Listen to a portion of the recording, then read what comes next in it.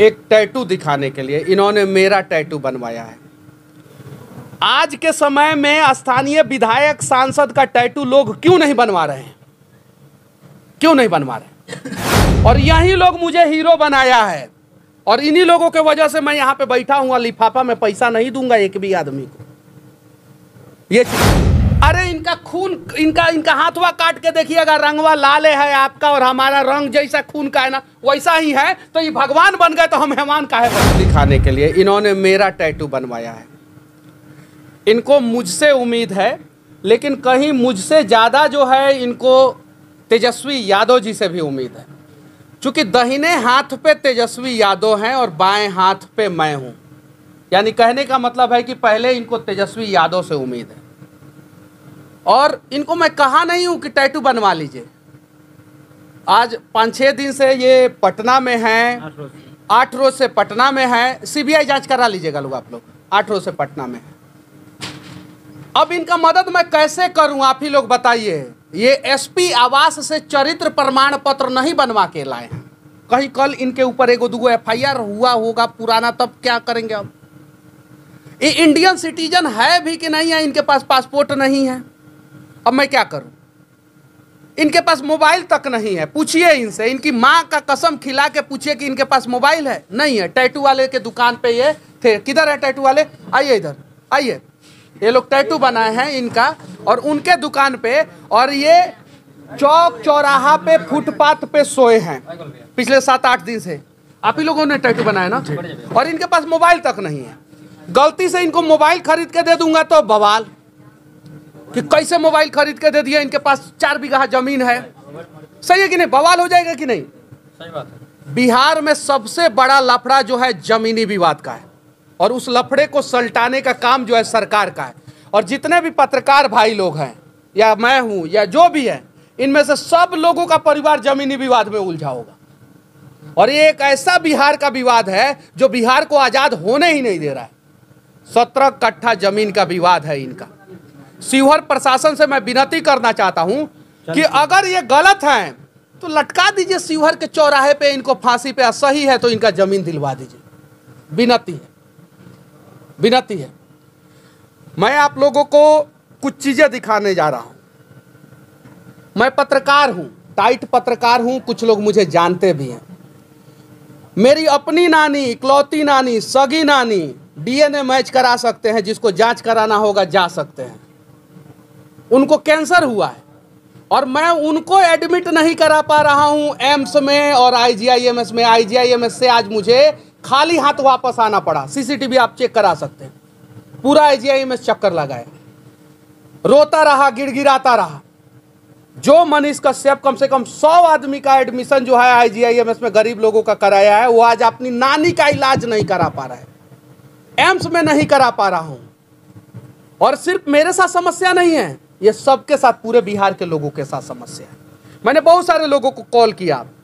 इसमें एक बिपिन सर हैं, गोल इंस्टीट्यूट के। अगर मैं दिखाऊँगा, इन्होंने मुझे कम से कम पचास बार फ़ोन किया बिपिन सर ने। लगा कि हमने कुछ अच्छा किया है, कोई तो साथ में खड़ा है। इन्होंने बोला मुझसे कि, मनीष जी, कल आपकी नानी जब आईजीआई में से मैं आएँगी तो मैं भी आऊँगा। ये देख सकते हैं। ये देख सकते हैं।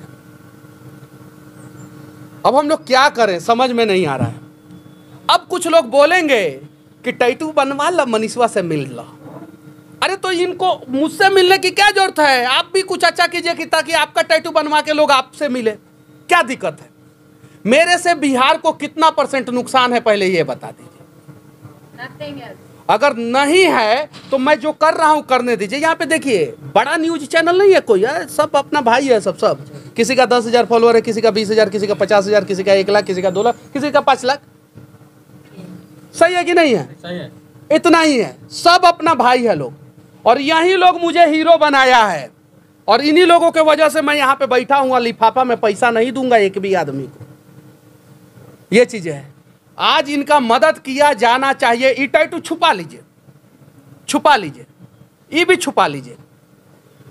आज के समय में स्थानीय विधायक, सांसद का टैटू लोग क्यों नहीं बनवा रहे हैं? क्यों नहीं बनवा रहे बताइए। पीछे एगो फ़ोटो है, ध्यान से देखिएगा, सोनू सूद। मसीहा बन गए। भगवान कहता है लोग इनको। हम नहीं कहते सब लोग कहता है कि भगवान है। अरे इनका खून, इनका इनका हाथवा काट के देखिएगा, रंगवा लाल है आपका और हमारा रंग जैसा खून का है ना, वैसा ही है तो ये भगवान बन गए तो हम मेहमान काहे बन रहे काहे बन रहे क्यों नहीं सीख रहे हैं सोनू सूद से? क्यों नहीं सीख रहे हैं हम लोग पटना के खान सर से?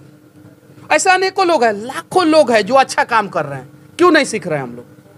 क्यों टांग खींचने के पीछे लगे हुए हैं? सबसे ज़्यादा काबिलियत जो है बिहार में पैदा होता है। और सबसे ज़्यादा परेशान जो है बिहार के लोग हैं। आज लोग कहता है कि मनीष कश्यप फलाना है, ठिकाना है आइया हुआ है। अरे दस हज़ार लोग पत्रकार बन गए हैं मेरे वजह से, और दस हज़ार लोग कम से कम बीस, पच्चीस हज़ार रुपया कम से कम महीना कमाते हैं। बेरोजगार तो नहीं है। जिनको बोलने नहीं आता, वो भी बढ़िया पत्रकारिता कर रहे हैं। बोलने नहीं आता है तब वो मुँह में माइक ठूस के जो है हीरोबाजी तो करिए दे रहा है सिस्टम से। कि क्या भ्रष्टाचार कर रहे हो क्या गलत कर रहे हो? आज जो है, बिहार के सारे नेता जो है ना, ये डिजिटल मीडिया के पत्रकार से परेशान है। सारे के सारे नेता। बैन की मांग कर रहे हैं कि डिजिटल मीडिया पे बैन होना चाहिए। बैन की मांग कर रहे हैं। और आज बिहार में अगर एक परसेंट करप्शन कम हुआ है ना तो उसमें सबसे बड़ा योगदान है डिजिटल मीडिया का। डिजिटल मीडिया का सबसे बड़ा योगदान है प्रिंट मीडिया का सबसे बड़ा योगदान ये दो मीडिया का मैं नाम रखूँगा।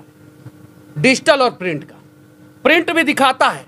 और बहुत अच्छे ढंग से बारीकी से खबर दिखाता है। आप सभी को पता है, कभी पेपर पढ़ के देखिएगा। लोग कहते हैं कि पेपर जो है, पहले छपने के बाद बिकता था और बिकने के बाद छप रहा है। आज हमने पेपर पढ़ना छोड़ दिया तो बिकना तो पड़ेगा उसे। अब बिक के छपना पड़ेगा। आज पढ़िए आप लोग दैनिक भास्कर। हर दिन जो है, उसमें चार पाँच भ्रष्टाचार की कहानी जो है, उजागर होती है। और पढ़ना चाहिए। जितने भी डिजिटल मीडिया के पत्रकार हैं ना, उनको जो है, अगर वो पेपर नहीं पढ़ रहे हैं तो समझिए कि अगर आप अच्छे पत्रकार नहीं बनिएगा। उनको पढ़ना चाहिए। आधा एक घंटा पेपर पढ़ना चाहिए। और हम सब के यहाँ पेपर आना चाहिए।